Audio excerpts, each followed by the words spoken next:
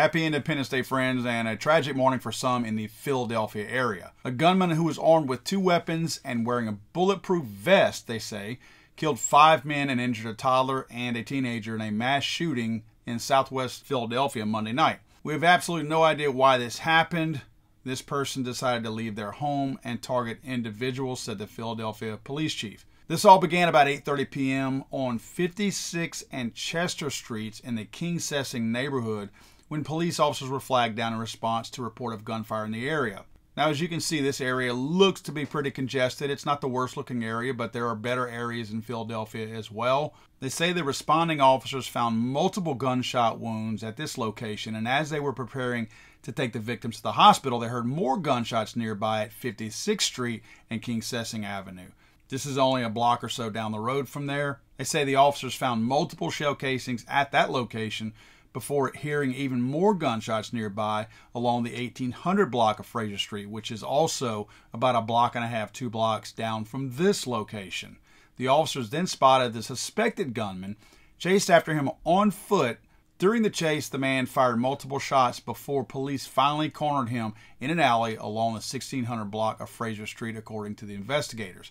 I'm assuming this is pretty much the alleyway that they are talking about when they refer to that. Police took the man into custody without further incident.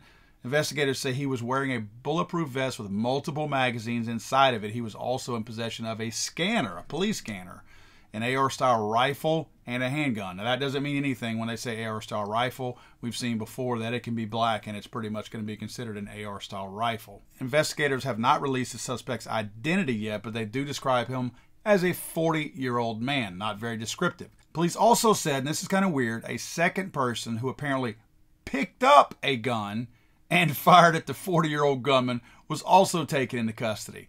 Three weapons in all were recovered in connection to the shooting. I have questions, but I want to point out some of the obvious. Like we were talking about yesterday, where you have a rampage shooting and a conflict shooting this right now has the appearances of being a rampage shooting, and I'll tell you why. And it does matter because, again, as I said yesterday, if you're going to solve these situations, you have to discern what the differences are between them in order to identify the root cause. You can't fix it without knowing what the problem is. What makes this different than your normal conflict shooting, where people are just hanging out, gathering in big groups, or they get in arguments and start shooting at each other, this shooter was wearing a supposedly ballistic vest. Now, we don't know if it was just the vest in order to house the magazines or if they actually had ballistic plates inside of it. We don't know that. They're just saying a bulletproof vest. Again, we're talking about people who, uh, and I'm not picking on them, but officials who probably would not know a ballistic vest from a windbreaker. So it looks scary, it looks tactical, so that's what they assume it's bulletproof. That's very unusual. Unless these people in conflict areas in inner cities are suddenly now giving themselves away by wearing a ballistic vest that's not normal in other words you're gonna you're gonna walk into a situation wearing a ballistic vest if i see you coming at me with a ballistic vest i'm gonna assume you want to shoot me that's not usually what the people in conflict shootings want they want the element of surprise or in some cases they don't even intend to shoot somebody they just have a gun something pops off and then they start shooting at each other so the fact that the presence of the ballistic vest is there tells me a whole lot that this is a little bit unusual.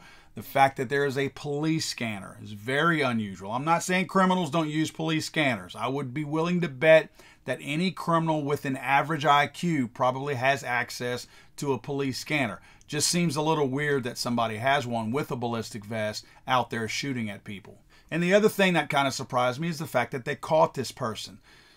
Look, when you have conflict shootings in inner cities, these people know these neighborhoods. They are rarely with police in the area. Remember, police had already been summoned and were investigating the area, and this person is still shooting off shots. That ain't indicative of a person trying to get away. Usually they're taking their shots, they're hitting what they're trying to hit, and they're taking off. They're scattering. They don't want to be caught. They're not trying to get caught. They know the area, they know how to escape, and you usually ain't going to find them. Tell me the last time, other than somebody who was shot and passed out on the street, the last time you saw any kind of a gang type shooting in the inner city where somebody just randomly got caught a couple of blocks down the road popping off more shots. It just doesn't happen that way. The thing that makes me wonder that gives you a little bit of pause and question of whether or not this could be an actual rampage shooting or a conflict shooting between gang members and whatnot is the fact that they did arrest somebody else.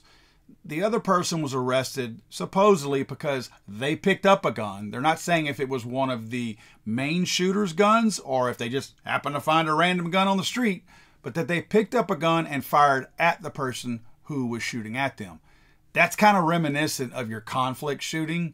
Um, if the person was a prohibited person, he might have said, Hey, man, I was just trying to save the day. I saw a gun on the street. I started shooting back at this person. They did arrest that person who shot at the suspect, by the way. So, again, that throws a little bit of a question mark there, uh, if you ask me. Uh, again, this is a super fluid situation right now. Not a whole lot of information has come out since then. I find it a little bit odd that they haven't identified the suspect as quickly and as fast as they want to identify suspects in other rampage killings so quickly. They want to give you name, address, race. Uh, you even get a copy of his fingerprints out there. You're going to know everything about this guy and his extended family. And all we know is this is a 40 year old person, a 40 year old man. So, this as it comes up, guys. Hope you guys have a good Independence Day. Sorry for the bad news this morning. But as more of this comes out, I'm be happy to share it with you guys. God save the Queen, man. I thought this was America.